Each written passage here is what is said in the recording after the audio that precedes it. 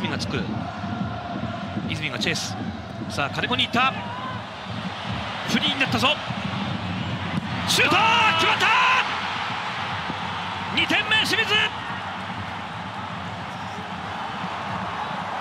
石沢ですね。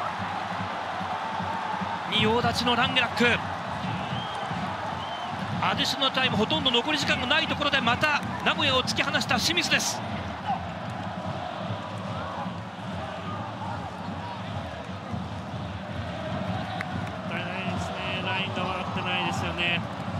マイナス方向後ろから走り込んできて。